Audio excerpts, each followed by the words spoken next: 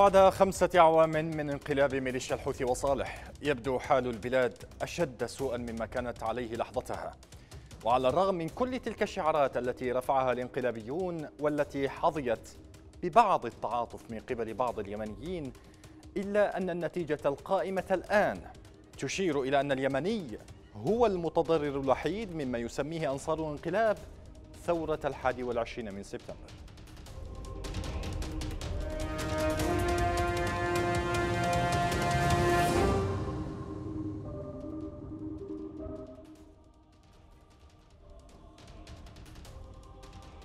أهلا بكم. كانت أهم شعارات الحوثيين حينها إسقاط الزيادة السعرية التي فرضتها الحكومة على المشتقات النفطية آنذاك بالإضافة إلى الشعارين الكبيرين حماية السيادة الوطنية ومكافحة الفساد. بعد خمسة أعوام تبدو النتيجة كارثية فالزيادة السعرية التي فرضها الحوثيون بعد سيطرتهم أضعاف مضاعفة فيما باتت السيادة الوطنية في عهدهم أثرا بعد عين. وصار قيادات الجماعة رموزا للفساد. غرق اليمنيون فيما يمكن تسميته بالحقبة السوداء وتراكمت على المواطنين كل الكوارث في ظل حرب مستعرة منذ خمسة أعوام. وأكثر من ذلك لا تبدو سلطة الحوثيين مكترثة ولا يهتم قياداتها سوى بمراكمة ثرواتهم على حساب المواطن اليمني. يقول الحوثيون وأنصارهم إن كل ذلك يأتي في سياق الحرب التي شنت عليهم وإن ظروف الحرب هي السبب في أنهم لم ينفذوا وعودهم. فيما يقول قصومهم أن الأمر لا يتعلق بظروف الحرب بل في الفكرة من أساسها. فالفكرة التي أسقطت البلد في دوامة الحرب لا يأتي منها ما ينفع الشعب وهو ما أثبتته الأحداث خلال الأعوام الخمسة الماضية كما يقولون.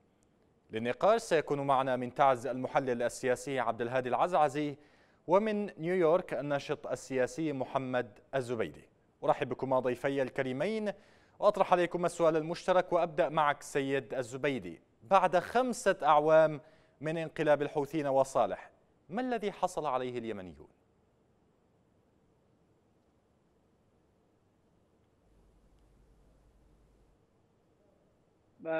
اولا أريد أن أوضح مفهوم انقلاب هي كانت ثورة شعبية وهذه الثورة الشعبية شاركت فيها مختلف القوى السياسية في الشارع اليمني ومنها أنصار الله وبقية المكونات السياسية وشركائهم في هذه الثورة التصحيحية التي جاءت بعد ثورة الحادي عشر من فبراير وهي عبارة عن ثورة تصحيحية لما جاءت به ثورة الحادي الحادي عشر من فبراير. الثورة كانت سلمية. ثورة ثورة حملت الكثير من المعاني السلمية والتي تطالب بإصلاحات والكثير من الإصلاحات في الحكومة اليمنية التي ظلت تنهج نهج الفساد الذي كانت عليه النظام السابق نظام علي عبد الله صالح. الثورة ثورة الواقع الحادي عشر من فبراير كان ثورة شبابية حتى ركب عليها بقية المكونات السياسية التي كانوا مشاركين بالنظام السياسي السابق بشكل أو بآخر. ثم لوثوا مسار الثورة وحولوا مسارها وجعلوها ثورة تسلط وثوره انتهاكات. الإرهاب كان والتفجيرات الإرهابية كانت على مرأى ومسمع العالم. ثورة الحادي عشر من فبراير أقصد ال 21 من سبتمبر ثورة تصحيحية بكل ما تعنيه الكلمة من معنى أسقطت بقية القوى التقليدية التي كانت مرتهنة للخارج. شاركت بقية المكونات السياسية في الداخل اليمني وأفضت إلى اتفاق سلم وشراكة مع بقية المكونات. على رأسهم كان إنذاك هادي وكان لا زال رئيسا للجمهورية.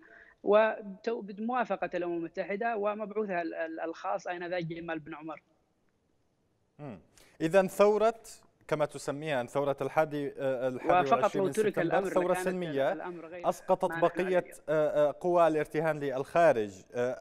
أنقل هذا الأمر إليك وأطرح ذات السؤال المشترك إليك سيد عبد الهادي العزعزي وأرحب بكما بطبيعة الحال إلى هذه الحلقة بعد خمسة أعوام مما يقول عليه كثيرون انقلاب ويقول عليه السيد محمد الزبيدي ثورة الحادي والعشرين من سبتمبر ما الذي حصل عليه اليمنيون بالضبط؟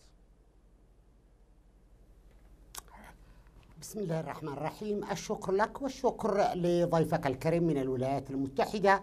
لكن الثورة لها أسس ولها قوائم ولها استعدادات ولها شروط موضوعية.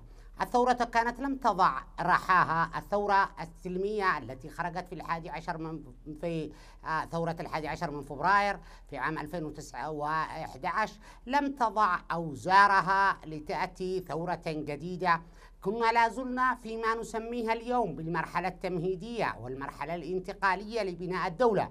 هذا العمل الذي أقدم عليه مع الأسف الشديد رفاقا لنا في الثورة وهم الإخوة الحوثيين بانقلاب عسكري محدد اولا أخرجنا من طور السلمية التي كانت قائمة والتي لم تحاول قدر الإمكان الصدام مع الجيش والأمن وظلت بهاتين المؤسستين بعيدتين وهما يدركون تمام الإدراك أن العنف هو مربع السلطات وليس مربع الثائرين وليس مربع المطالبين بالتغيير على مدار تاريخ الدولة.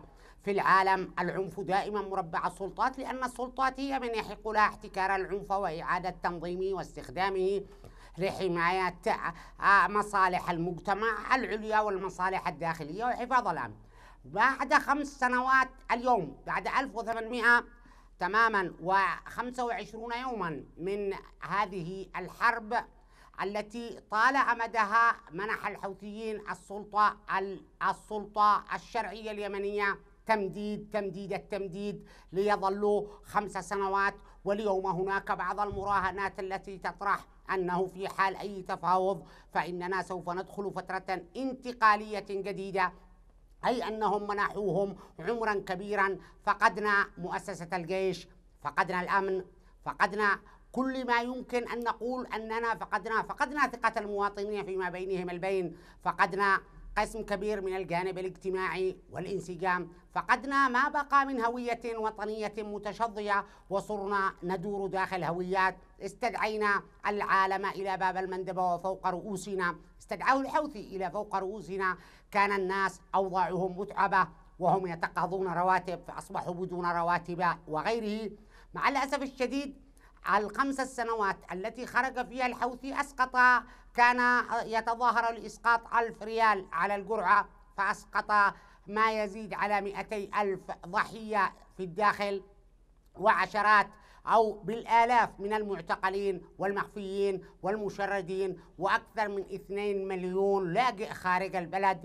كل هؤلاء هم ضحايا هذه المرحلة. كنا بأمس الحاجة لهذه الإمكانيات ولهؤلاء الأفراد ولتلك الطاقة الخلاقة لثورة الحادي عشر من فبراير في بناء مجتمع والخروج من هذه الموازنات. كان الحوثي شريكا لهؤلاء داخل مؤتمر الحوار لكن لكنه أتى يتحسس الوطن من رأس بندقيته زحف على الإسفلت الأسود من صعدة إلى صنعاء أسقط كل شيء وأعطى فرصة حياة لقوى كانت تحتضر وكادت أن تخرج خارج المشهد وأن يكون هو واحد من القادمين الجدد فأتى يزيح الجميع ولم يدرك أنه أزاح نفسه وحمل ثقالة كبيرة جدا من الأعباء والتكاليف والعداوات التي نسأل الله أن يجنب البلد آثارها مستقبلا. طيب سيد الزبيدي يعني تقول عنها ثورة هذا ما ستقول أنت ربما دائما. يقول عنها السيد عبد الهادي العزعزي وهذا ما سيقول عنها انقلاب وهذا ما سيقول ربما دائما. اليمنيون لهم الحكم في في ذلك لكن الآن ما يهمني أنا. عندما آه، رفع عندما رفعت شعارات آه، آه، الحادي والعشرين من سبتمبر رفعت شعارات كثيرة. ما الذي حصل منها؟ ما الذي تحقق منها الآن يعني ونحن الآن بعد خمس سنوات أظن أنها ربما فترة كافية جدا لتقييم ما حدث في الحادي والعشرين من سبتمبر ما الذي حصل عليه اليمنيون الآن؟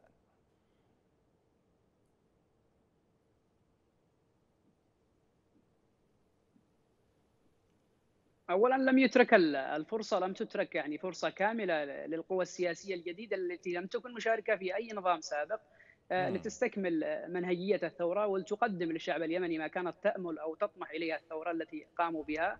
آه، أتى العدوى وخلط الأوراق وكانت الحرب جديرة على أن تدمر بقية الأهداف التي كانت ترمو إليها الثورة والتي كان يعني يتطلع إليها قيادة الثورة والمكونات السياسية المشاركة بالثورة.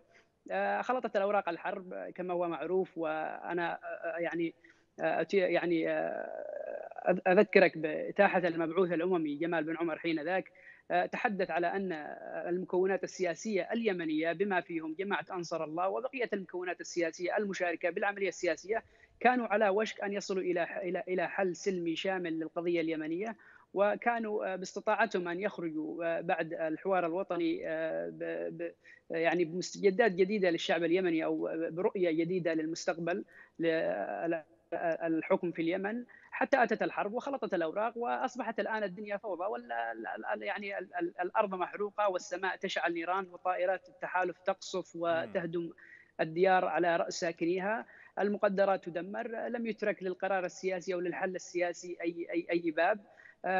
خلط العدوان أوراق السياسة وأوراق الحوار وكل كل كل شيء كان بإمكانه أن أن أن ينقذ اليمن وأن ينقذ القضية اليمنية والعملية السياسية في اليمن.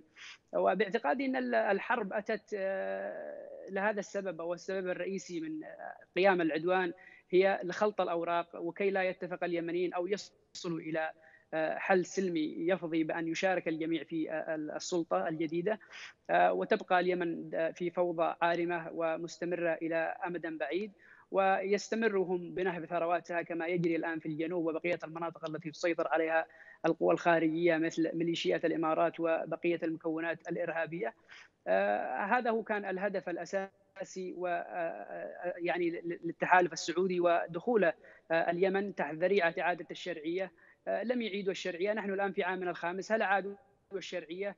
هل حظي بقية المكونات السياسية بأي من الاحترام وبأي من من التقدير من قبل التحالف العربي؟ نحن نرى ونسمع ويعني نطلع على كل التقارير التي تتحدث عن الاضطهادات يعني ما هو الفرق الآن؟ وأنت تسرد لي هذا السرد كله سيد الزبيدي أو بقية المكونات وانت تسرد لي كل هذا السرد فيما يتعلق بالعراقيل التي واجهت من سيطروا على المشهد بعد الحادي والعشرين من سبتمبر. أنا أتذكر ذات المبررات التي كانت تطرح في سياق الحديث عن الوضع الصعب عن مسألة تفجير خطوط الكهرباء أن هناك مؤامرة أن هناك من يعرقل أن صالح كان موجودا. ما الجديد الذي أوجده المتحكمون في المشهد اليمني في المناطق الشمالية تحديدا مناطق سيطرة الانقلاب إن صح التعبير ولم يكن متوفرا. يعني ما هو ما هي الإضافة التي أضافوها؟ فساد إلى جانب الفساد؟ يعني هذه نهاية هذا نهاية المطاف؟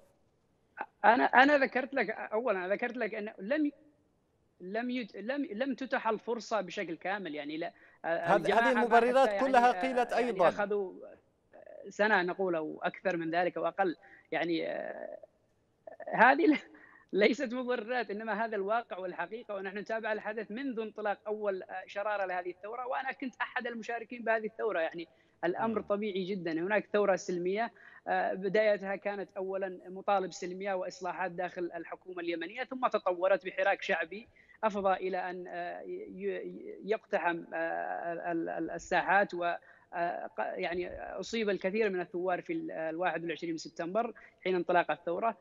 قوبلت الثورة بالكثير من الانتهاكات كما حصل في عمران وبقية المحافظات. وحين ذاك يعني هذه لو كانت انقلاب بحسب ما ما تعرف أو بحسب ما تقول أنت فهذه كان على رأس الانقلابيين. وهذه يعتبر أول الانقلابيين. هذه عندما دخل الثوار عمران ذهب هو إلى عمران وقال عادت عمران إلى حضن الدولة وكان معترف بالثورة وبقيادة الثورة وقد أفضى بعد ذلك ألم تقل قبل قليل أن الثورة كانت سلمية سيد بحضور الامم المتحده وممثل المبعوث الأممي إليهم. نعم كانت سلمية. أنا أتحدث على أنه حصل اقتحام لساحات الثورة من قبل ما يسمى بالميليشيات التي كانت تتبع الجنرال علي محسن وغيره يعني هناك الثورة قوبلت يعني وجهت من الحكومة بإطلاق النار وباضطهاد الثوار وبالقوة. الثورة السلمية كانت أيضا في عمران كما ذكرت لك طيب دعني أنقل هذه النقاط. كيف تراها سيد العزعزي سيد العزعزي يعني السيد الزبيدي يقول البلد في حالة حرب أنتم تريدون من الطرف الآخر في وقت الحرب تحقيق شعارات بتحقيق الاستقرار الاقتصادي. بطبيعة الحال أي بلد تدخل حربا لن يستطيع أي نظام مهما كان قويا أن يحقق استقرارا اقتصاديا. ثم ألم آه، يعني في نهاية المطاف الاستقلال الوطني على الأقل الحوثيون كما يبدو ليسوا مرتهنين بهذا القدر كما هي آه، الشرعية الآن. ألا يبدو من غير المنطق هذه المطالب التي تطلبونها ممن كانوا على رأس ما يسميه ضيفي ثورة الحادي والعشرين من سبتمبر. يا سيدي ثورة الحادي والعشرين من سبتمبر أسقطت أربعمائة ألف جندي وقواعد قوية وأخرجت سلاح الطيران خارج الجاهزية. أفقدتنا الموانئ أدخلتنا الفصل السابع من ميثاق الأمم المتحدة. وأخيرا أدركت رئيس الجمهورية إلى عدن وجعلته يغادر البلد. فرضت سيطرتها دفعت نفسها ابتداء من صعدة إلى حرف سفيان ثم من حرف سفيان إلى عمران. في عمران كانت تصطدم كما تقول بجيش جرار لنائب الرئيس اللواء علي محسن الأحمر. وهي بهذا الشكل تعتقد أنها كانت تتواجه بشخص كل هذه مبررات كان الشعار واضحا. شعار الجماعة كان الموت. الموت الموت أصاب اليمنيين الموت أصاب أحلامهم الموت أصاب إمكانياتهم الموت أصاب ما خلفته ثورة السادس والعشرين من سبتمبر لاثنين وخمسون عاما. ما راكمه اليمنيين من إمكانيات من بنية تحتية من علاقات من بداية تكون هوية وطنية. في ظل حالة التسلل الحوثيين فتحوا شهية الأطراف الداخلية التي تملك مشاريع ما قبل وطنية وهم واحدة منهم. إلى فرض هذه العملية كانت ثورة سلمية لكن على طريقة أمثال اليمنيين القائلين يقرأ ياسين وبيده حجر. كانت ثورة سلمية ظاهريا وهم يحملون بنادقهم باتجاه مجلس الوزراء. ثاروا ضد عملية توافق تجمع القوى السياسية لأنهم يومها لم يكونوا جماعة سياسية ليدخلوا النادي السياسي. تساهل معهم الجميع. وكأنها هناك خطة كانت تدبر كانوا هم رأس الحرب لتدبير هذه الخطة. تدمير ما امتلكه اليمنيين وترك البلد على على الحديدة كما يقال تدمير كل شيء تدمير الجهاز الفني والإداري للحكومة اليمنية الذي شورد والغالبية يعني. العظمى مات طوال هذه الفترة فقد حياته إما غلبا أو قهرا أو كمدا أو غيره نعم. ألم يحقق الحوثيون استقرارا جيدا اقتصاديا في مناطق سيطرتهم؟ ألم يكونوا أفضل في ناحية محاربة الفساد؟ يا رجل هناك لجنة ثورية لمتابعة الفاسدين. هذه اللجنة الثورية لمكافحة لما تكافح الفساد؟ هل تكافح الفساد بأن تصادر رواتب الناس ومعيشتهم؟ هل يكافح الفساد بأن تبنى شبكة لا منتهية من شركات النفط الداخلية بعد أن دمرت شركة النفط؟ هل المهمة أن يتحول الحوثيون وأنصارهم وحلفائهم إلى بارونات مالية على حساب البلد ومدخراتها واحتياطها النقدي؟ دمروا كافة تجهيزات وأسلحة الجيش اليمني كانت هنالك قواعد قوية كانت هنالك إمكانية لبناء بناء جيش بل كان هناك جيشا وطنيا محترفا باسم شخص دمروا الجيش بأكمله. لما كل هذه لما كل هذا الحقد والتدمير على البلد حتى المساجد لم تسلم ومعتقدات الناس لم تسلم أصبحنا اليوم نرفع شعارا أخضر للميلاد النبوي ونتكلم عن الولاية والاستحقاق ونقسم المجتمع إلى سادة وعبيد وندخل في حالة من التمييز أشبه بالتمييز السلالي العنصري داخل هذا المجتمع. أفقدوا جعل الجميع جعلنا الجميع أو جعلوا الشارع يرتاب من كلمة يمني. دفعونا جميعا إلى أن يتم اللجوء إلى مجلس الأمن والأمم المتحدة. كنا نراهن أن يكون الحوثيين قوة دفع. الثوار عادة ليس بالضرورة أن يحكمون لكنهم قوة ضامنة. لو أن الحوثيين وقفوا موقف القوى الضامنة مع شباب الساحات ومع بقية المجتمع اليمني كان يمكن أن تفرض أجندة وكنا يمكن أن نتجاوز هذا البلد. ما يعرف أن أي مجتمع بعد الثورات يخرج لديه عاملا متحفز وقدرة غير عادية أو قدرة كبيرة جدا على إحداث تغييرات جوهرية في البنى الاقتصادية والاجتماعية والسياسية. اليوم دمر كل شيء. دمر كل شيء داخل البلد وادخلنا في نزاعات وخلافات وسوف ندخل في ثارات وثارات مضادة. وقد لا نصل إلى حالة الأمان طيب دعنا الآن في الوضع الاقتصادي. يعني في هذه النقطة الاقتصادية فيما يتعلق بالحالة الاقتصادية سيد الزب... آه سيد العزعزي أسألك سيد الزبيدي يعني في الجانب الاقتصادي كان المبرر الأول أول مبرر وأهم مبرر لعب عليه الحوثيون هو إسقاط ما يعرف بالجرعة ومكافحة الفساد. اليوم الاقتصاد منهار آه تماما. الفساد بلغ مستويات لم يصلها من قبل أيضا. والحوثيون زعماء الجماعة هم الأثرياء والفقراء هم باقي الشعب اليمني. أين الوعود؟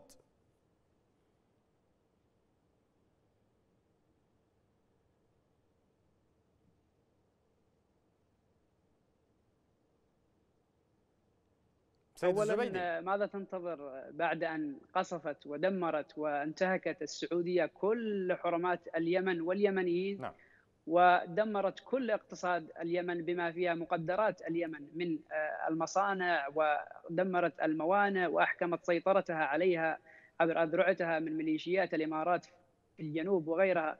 آه، وبالإضافة إلى الحرب الاقتصادية التي أوعزت بنقل البنك المركزي إلى عدن وتدمير الاقتصاد بشكل كامل. وفي الآونة الأخيرة أنت ترى ونسمع كلنا عن السفن الإغاثة التي تحتجزها السعودية بقرارات تعسفية آه، في البحر الأحمر. آه، اولا الاقتصاد آه، وفي ظل الحرب وفي ظل العدوان على اليمن وظل الحرب الاقتصادية والحصار على موانئ ومطارات اليمن ظل البنك المركزي في صنعاء يصرف رواتب كل الموظفين بما فيهم في في الجنوب المناطق المسيطرة عليها من قبل ما يسمى بشرعية هادي. والمناطق التي يسيطر عليها آه، المجلس السياسي التابع لأنصار الله. وأنا أنوه هنا أنا لا أتحدث باسم أنصار الله ولا أمثل أنصار الله بأي حال من الأحوال وإنما أتحدث باسم آه، يمني منصف للقضية اليمنية أو للأزمة السياسية طيب هل من الإنصاف الذي ترى آه، أن البنك يعني الاقتصادي عندما كان هناك في فسادا في هذه الجماعه في روسيا في الرواتب كانت تصرف لجميع الموظفين في اليمن. ألم يكونوا ثروات ألم يكونوا ثروات خلال هذه الحرب خلال سنواتها كلها؟ على الرغم من معاناة اليمنيين.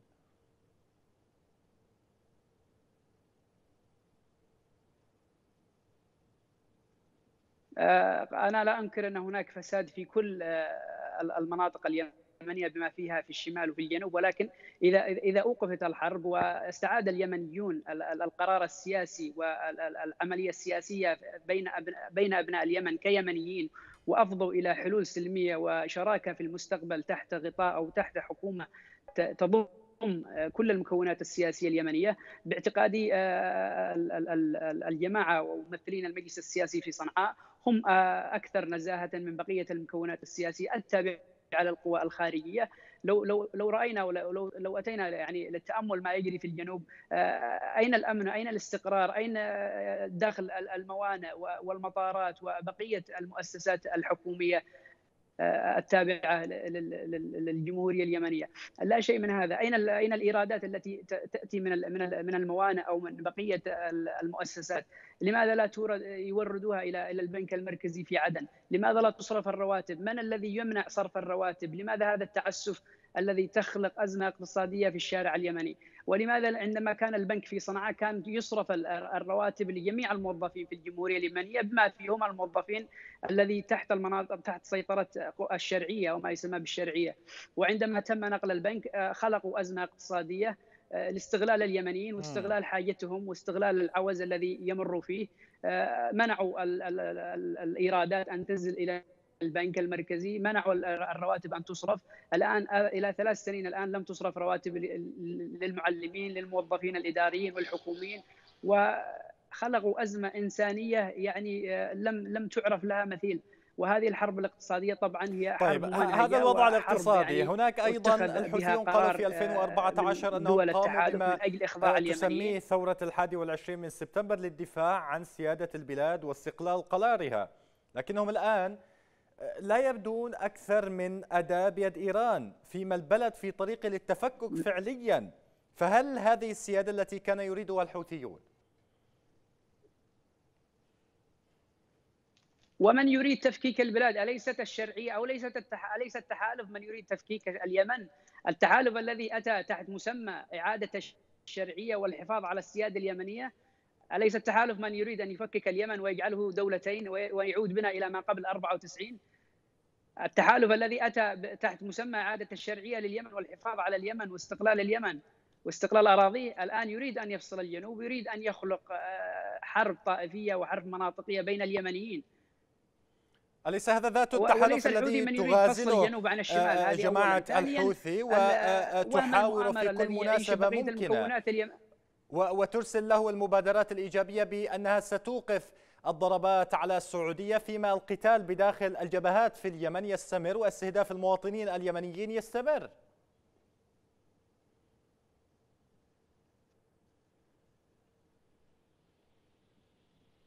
القوى السياسية في صنعاء تبعث رسائل سلام لكل المكونات السياسية اليمنية إلى أن يعودوا إلى حضن الوطن وأن يتركوا العمالة للخارج وأن يعودوا آه، ليحصل حل سياسي بين كل المكونات السياسية بحسب اطلاعي وبحسب متابعتي للعملية السياسية في اليمن أو التغيرات في الشارع اليمني. آه، لو أتيحت الفرصة لليمنيين كيمنيين أن يتفقوا فيما بينهم لاتفقوا وافضوا إلى حلول سلمية ترضي الجميع. ولكن التدخل الخارجي هو من يصعب الأمر وهو من يعرقل كل هذه العملية السياسية ويحاول أن يدمرها. وينفيها من الوجود ليستمر تواجده في اليمن ويستمر آه، استنزافه لثروات اليمن والسيطرة على اليمن وأراضيها سياسيا وقراراتها السياسية والإقليمية في الخارج. آه، آه، التحالف السعودي هذا ما يريده من اليمنيين هو يريد فقط استغلالنا لم يأتي لنصرتنا لم يأتي لإعادة السيادة اليمنية كما تزعمون أو أن هناك تدخل إيراني، ليس هناك تدخل إيراني، لو كان هناك تدخل إيراني لكانت الحرب انتهت ولكان السعودية الآن لكانت القوى السياسية اليمنية في داخل الرياض متحكمين بالقرار السياسي في الرياض. التدخل ليس هناك أي تدخل. كل هذه آه، وهم المؤامرة الذي تعيش بقية المكونات السياسية ومن وراءهم من الدول الإقليمية آه، أمثال السعودية الإمارات. هم عايشين في وهم مؤامرة بأن هناك تدخل إيراني وهناك تدخل إقليمي بالشأن اليمني ولم نرى من هذا التدخل أي شيء، كل ما رأينا أن هناك تدخل من قبل النظام السعودي والإماراتي بالشأن اليمني يريدوا أن يعني أن يتحكموا بالقرار السياسي في الداخل اليمني آه، ويريدوا أن يسيطروا على منافذ اليمن برا وبحرا وجوا وأن تكون لهم الكلمة الأولى والأخيرة بالشان اليمني. هذا ما رأيناه وهذا ما وجدناه على الساحة، لم نجد أي تدخل إيراني أو أي تدخل من بقية الدول الإقليمية بالشأن اليمني غير التدخل السعودي والإماراتي وليس بجديد، التدخل السعودي بالشأن اليمني من قبل 2011 وثورة 11 فبراير ومن قبل أن تكون ثورة ال 21 من سبتمبر طيب حتى اتت ثورة ال 21 من سبتمبر سبتمبر وقطعت اليد الدخيلة للسعودية وجن جنون السعودية وقامت وأتت بعدوانها على اليمن. دعني انقل هذه النقاط إلى السيد العسعزي، السيد العسعزي يعني لماذا يتحمل الحوثيون الآن المسؤولية آه، آه، مسؤولية هذا الوضع وحيدين؟ هناك أطراف أخرى، يعني في نهاية المطاف الحوثيون يقولون أنتم من جلبتم اطرافا خارجية للقتال معكم، ثم بعد أن وضحت نوايا هذه الأطراف يقصد التحالف وغيرها أنها لا تريد مصلحة البلاد حملتم الحوثيون مسؤولية الوضع بداخلها. يعني لا يمكن لا يمكن في نهاية المطاف أن يتحمل الحوثيون مسؤولية ما يقوم به التحالف الذي استدعاه هادي وشرعيته.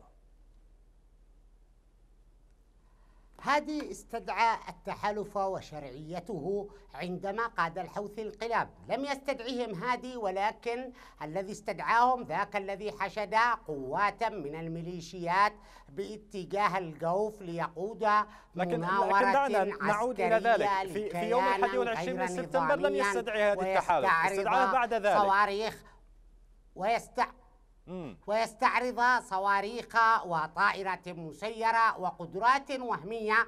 هو من استفز هو من استفز الإخوة في المملكة. الذين يحق لهم بحسب ميثاق الأمم المتحدة وجامعة الدول العربية التدخل لحماية مصالحهم ولحماية حدودهم.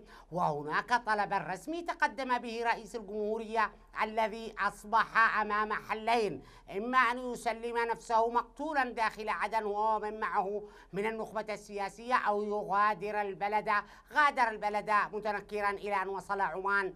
وهي عملية كان يمكن أن يروح ضحيتها من فوض الحوثي ينقلب باسم المجتمع. أي ثورة تلك؟ من فوضه أن يقود هذا الدمار والتدمير. من فوضه أن يقلب العالم بأكمله. يدعون أنهم سوف يقطعون دابر التدخل الأجنبي. فقلبوا العالم من كل حدب وصوب. قلبوا البلدان العربية ثم قلبوا القوى الإقليمية ثم قلبوا القوى الدولية.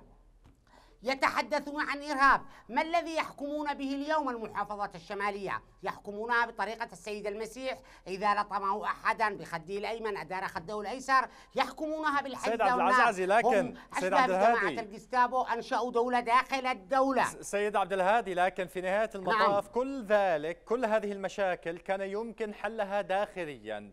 لم يكن الأمر جللا كما يفهم من كلام السيد آه، الزبيدي لأن يستدعى طرف خارجي. أنت ترى الآن كيف يستبيح الأراضي اليمنية ويعبث بسيادتها؟ هذا الأمر يجعلنا نشك أيضا أن من يتهمهم الحوثي بأنهم خصوما وأعداء ابتداء من الولايات المتحدة ومن القوى الإقليمية هو حليفهم الاستراتيجي على مدار التاريخ. هو حليفهم الاستراتيجي تماما وهو ينفذ مخططا. كانت هناك قوة عسكرية وكانت هناك بنى للجمهورية وكانت هناك بنى لتحول ديمقراطي في البلد.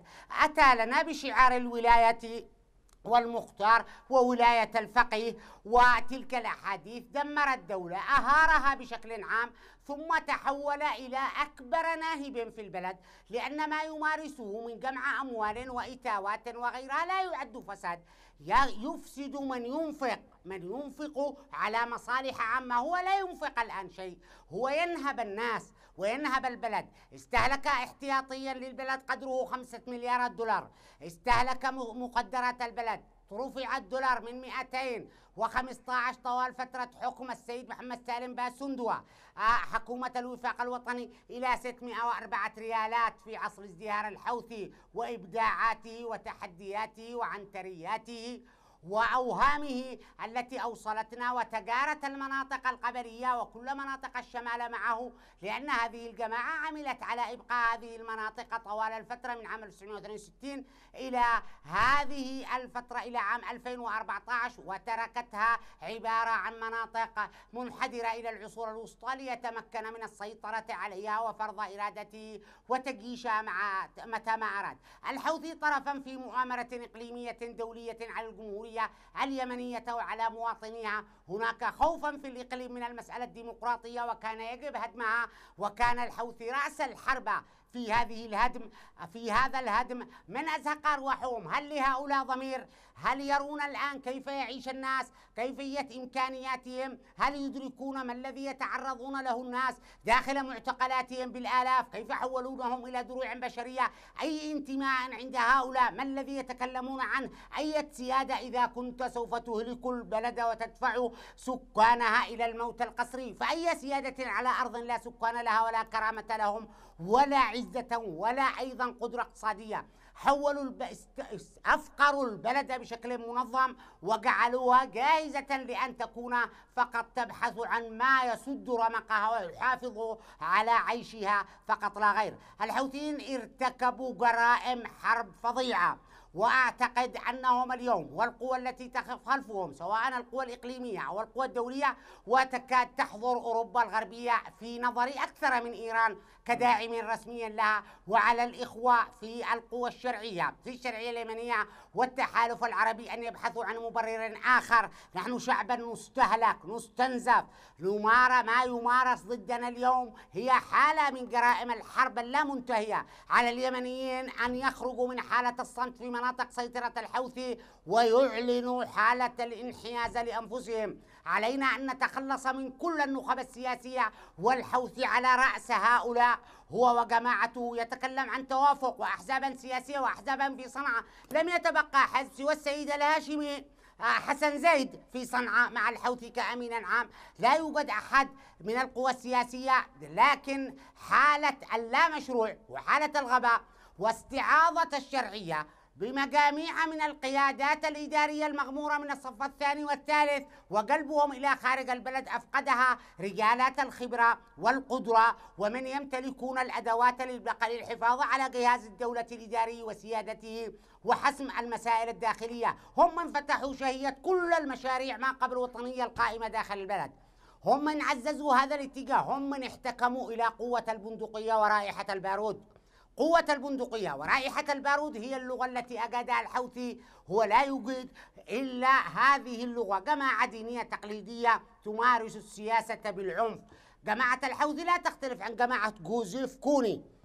الزعيم جوزيف كوني زعيم جيش الرب في أوغندا وما ارتكبه بحق الأوغنديين فترة عيد أمين وما تلاها لينتهي منتحرا داخل الغابات في آه، آه، آه، غرب السودان. انتهت هذه الجماعة لكن جوزيف كوني لا زال مطلوبا دوليا هنالك العشرات من هلا من من كل أولئك الذين طيب، تحولوا طيب إلى حتى أفهم النقطة بشكل أساسي يعني الحوثيون انضموا إلى بقية القوى السياسية التي كانت يعني انضموا لبقية الفاسدين الذين كانوا ولم يمثلوا جديدا بالنسبة للمواطن اليمني ومع ذلك هم احتكروا السلطة في مناطقهم.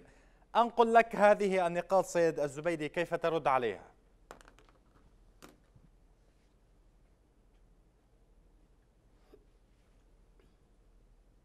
المعذرة ما سمعت أقول يعني ما يقوله السيد عبد الهادي العزعزي هو فيما يتعلق بأن الحوثيون آه، كل ما فعلوه هو أنهم آه، أصبحوا آه، وجها سياسيا فاسدا كما كان هناك فاسدون آخرون. يعني بنهاية المطاف السيد عبد الهادي العزعز يمثل نفسه هنا ويتحدث عن ذلك ويمثل صوتا كبيرا من الشارع اليمني في في فيما يقوله. وهو يقول أيضا في نهاية المطاف أنتم احتكرتم العملية السياسية في مناطق سيطرتكم من هم شركاؤكم الآن هناك كيف ترد؟ آه، يعني كل الذي هربوا هم هم القوى السياسية الذي الآن في فنادق الرياض هم فقط القوى السياسية اليمنية يعني آه، داخل اليمن وخارجه فقط يعني هؤلاء العشرين نفر الذي في فنادق الرياض هم فقط القوى السياسية لليمن والمكونات السياسية لبقية الأحزاب اليمنية؟ آه، أين بقي أين القاعدة الشعبية للأحزاب اليمنية؟ أين بقية المكونات السياسية؟ هؤلاء العشرين نفر فقط هم الذي يمثلوا العملية السياسية. هذا بحسب من هم اللي من, من مع الحوثيين آه الآن؟ يعني حتى الحوثي صالح آه ليست شريك الثورة أو شريك الإنقلاب اي اي ما شئت تسميها حتى صالح المؤتمر لا زال المؤتمر وقاعدته الشعبية وقاعده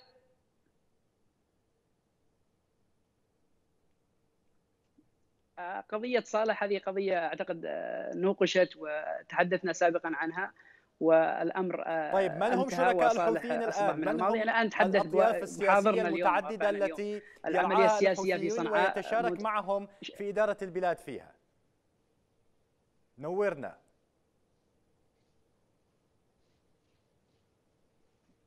بحسب اطلاعي لا زال هناك من المكونات من بقية الأحزاب السياسية بما فيهم الناصريين بما فيهم المؤتمرين لا زالوا مشاركين بالحكومة أو حكومة الإنقاذ الوطني الذي آه، تدير آه، المجلس السياسي في صنعاء. آه، هناك يعني أفراد من الأحزاب اليمنية مختلف الأحزاب اليمنية في في صنعاء تشارك الحوثي أو تشارك أنصار الله العملية السياسية وهذا أمر طبيعي وإحنا نسمع كل يوم وآخر حسب اطلاعي جماعة أنصار الله تطلق مبادرة ودعوة عفو عام لبقية المكونات السياسية أن تعود إلى صنعاء وتشارك بالعملية السياسية ولم نجد أي استجابة وأعتقد لم يجد استجابة لهذه الدعوة وبسبب ضغوط خارجية قد تكون أو بسبب انحيازات أو تحركات حسب ما يرسم لهم من مخططات من سواء دول إقليمية أو مشاريع أو أو أحزاب سياسية تتبنى العملية السياسية في الخارج. آه، ليسوا فقط من يتواجدون آه، في الرياض هم من يمثل العملية السياسية في اليمن أو المكونات السياسية أو بقي أو مكونات الأحزاب السياسية. آه، الكثير من الأحزاب السياسية في صنعاء لا زالوا متواجدون ويشاركون بالعملية السياسية بشكل رئيسي. المؤتمر الشعبي العام كونه أكبر حزب وله قاعدة شعبية كبيرة في الداخل اليمني سواء في المناطق الشمالية أو الجنوبية لا زال يشارك جماعة أنصار الله السلطة في صنعاء ولا زالت الحكومة تدار عبرهم وعبر شركائهم من القوى التحالف الأحزاب اليمنية وبقية المكونات السياسية هذا بحسب اطلاعي وبحسب متابعتي للعملية السياسية في اليمن، لكن ضيفك الكريم يتحدث على أن يجب إقصاء المكونات السياسية و لا يمكننا إقصاء أحد، العملية السياسية في اليمن لا بد أن تكون سلسة ولا بد أن يكون هناك توافق ويكون هناك تنازل من بعض القوى السياسية سواء في الخارج أو في الداخل، لابد أن يقدموا تنازلات لبعضهم البعض حتى تستمر العملية السياسية بشكل سلمي وبشكل صحيح.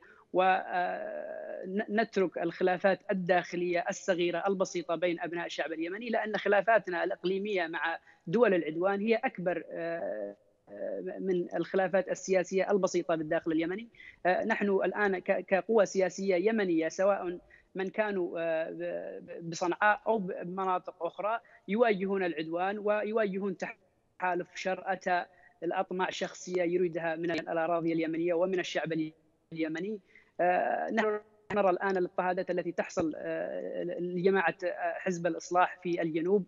كذلك ما يحصل أو ما نسمع عنه أن هناك اعتقالات في السعودية لمكونات سياسيه يمنية وضغط عليهم بأن لا يتخذوا أي قرارات ولم يسمح لهم حتى بالسفر أو المغادرة ولم نسمع لهم أي تصريح بشأن الأحداث الأخيرة التي حدثت في الجنوب. ماذا يعني هذا؟ ماذا؟ هذا يعني أنهم مغلوبون على أمرهم وهناك سيطرة قوية من قبل التحالف عليهم وعلى قراراتهم السياسية. حتى على مستوى رئيس الجمهورية لم نسمع له أدنى تصريح أو ما يسمى رئيس جمهورية أو من يعترف به. لم نسمع له أدنى تصريح عن الأحداث الأخيرة في الجنوب أو ما يحصل في الداخل اليمني من اضطهادات لليمنيين وانتزاع للقرار السياسي من حكومته أو من شرعيته أو من ممثلين شرعيته في الجنوب. هذا يعني أن السعودية والإمارات بشكل خاص هي متحكمة بالقرار السياسي التابع لما يسمى الشرعية هذه. واليمنيون آه، يعني بطبيعتهم لن يقبلوا أي تدخل خارجي سواء بشأنهم السياسي أو بشأنهم آه، أو أو بأي شأن آخر. آه، لن نقبل هذا كيمنيين أحرار. نريد أن نحافظ على سيادة وطننا ونريد أن نحافظ على سياسة أو قرارنا أو سلامة قرارنا السياسي في الداخل اليمني. قضايانا السياسية كيمنيين سنحلها فيما بيننا. إذا أتيحت لنا الفرصة وإذا اتفقنا كيمنيين آه، ضد التدخل الخارجي آه، سنفضي أو ستفضي العملية السياسية إلى حلول سلمية آه، لجميع المكونات السياسية اليمنية بما فيهم جماعة أنصار الله بما فيهم الإصلاح بما فيهم المؤتمر.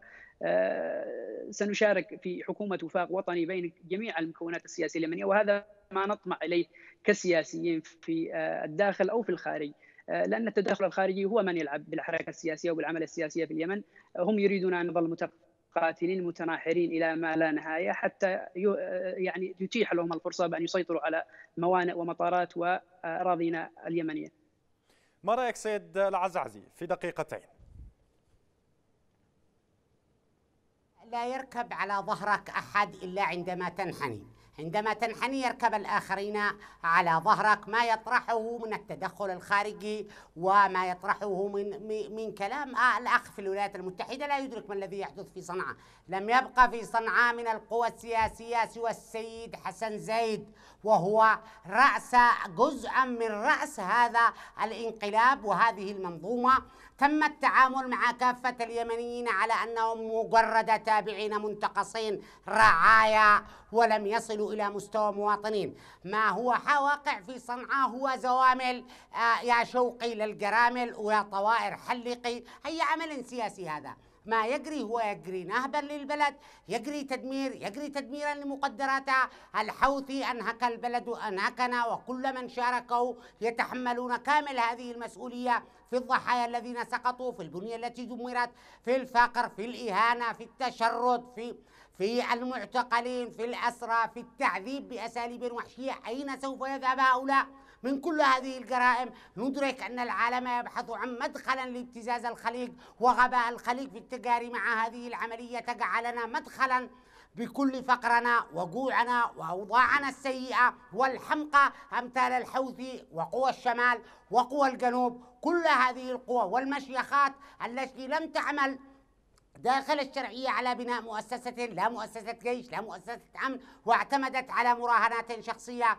وكما قال روحاني عندها عن وضع هذه الدول وعن وضع الشرعية وعن حالة التحيز والغباء الذي تم في إدارة هذا الملف جعلنا جميعا نحمل الحوثي أولا والسلطة الشرعية ثانيا. فالحوثي بدرجة أساسية مشاركا بالقتل والتخطيط والعداء وتحول إلى مجرد مرتزق. في تنفيذ أجندات هو الناهب اليمني الأول هو من صادر إرادتنا هو من دمر أحلام هذا الجيل هو من دمر أحلام هذا الجيل والمستقبل. ودمر جيلين من الماضي مما جرى كسبه منذ ثورة السادس والعشرين سبتمبر. دمر روح الانتماء للبلد لأن هذه الجماعات التي تدعي التفوق والسلالية لا تحكم هذا البلد إلا في الحرب الأهلية. في حالة الحرب الأهلية والمجاعات فهم يدفعون البلد بكل ما أوتي من قوة أن تدخل حربا أهلية أو مجاعات ليستمر هؤلاء.